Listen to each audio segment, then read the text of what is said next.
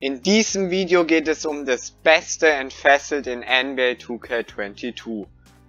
Starten wir direkt rein mit dem Sharpshooting entfesselt. Das ist ja schon über Jahre gut. Dieses Jahr meinen viele ja, weil der Dreier ja, ähm, weil es leichter ist, Dreier und sowas zu werfen, ist das Sharpshooting Takeover nicht mehr so gut und nicht mehr so wichtig.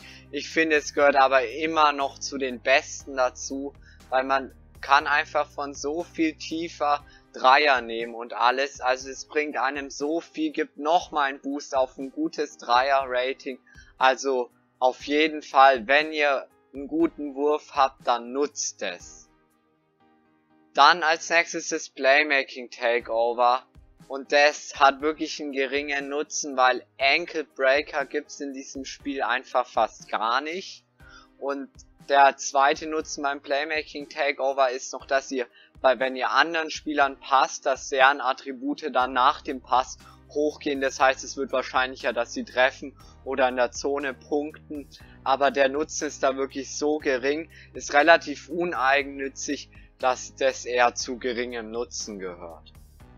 Dann als nächstes der Shot Creator Takeover.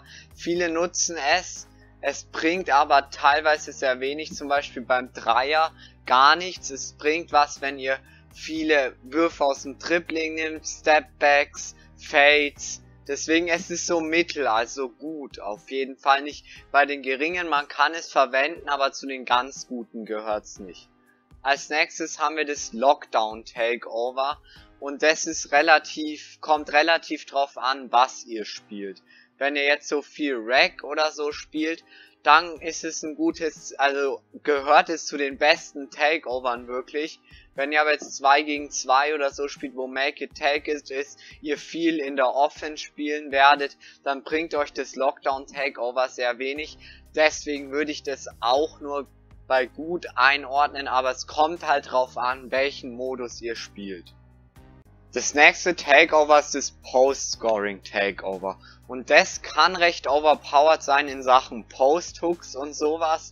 Ähm, die gehen da sehr gut rein, weil Post-Scorer allgemein overpowered sind. Aber das ist halt nur relativ spezifisch für manche Builds. Aber eigentlich, das ist so overpowered, ihr könnt auch Fades und sowas damit gut werfen. Aber vor allem eben Post-Hooks ähm, dass ihr, weil Post-Hooks sind halt wirklich overpowered, dass es wirklich ins Top-Tier gehört. Ähm, beim Slasher Takeover, ja, Slashing ist sehr wichtig, kann man eigentlich mit Sharpshooting Takeover vergleichen, nur halt für Slasher und ihr kriegt halt so viele Contact Dunks und alles, also das gehört auch auf jeden Fall ganz oben zu den besten Plaketten.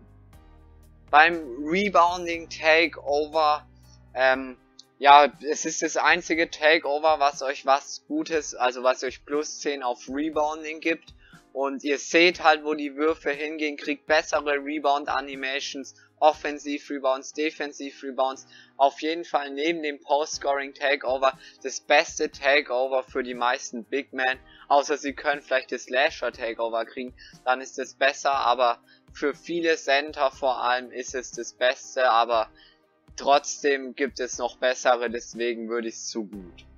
Und beim letzten, bei dem Korbbeschützer Takeover, sehe ich wieder eher weniger einen Grund, das zu nutzen, weil das Rebounding Takeover ist einfach besser, weil das ähm, Korbbeschützer Takeover ist nur für, wenn ihr in der Zone äh, Würfe wegblocken wollt und so, vielleicht noch für Rack oder so ganz gut, aber da finde ich fast das Rebounding Takeover besser, weil das fast wichtiger ist und bei Post, äh, bei Korbbeschützer Takeover, das ist so schnell wieder weg, dass ihr gar nicht wirklich die Chance hattet, vielleicht ein Block oder sowas zu versuchen.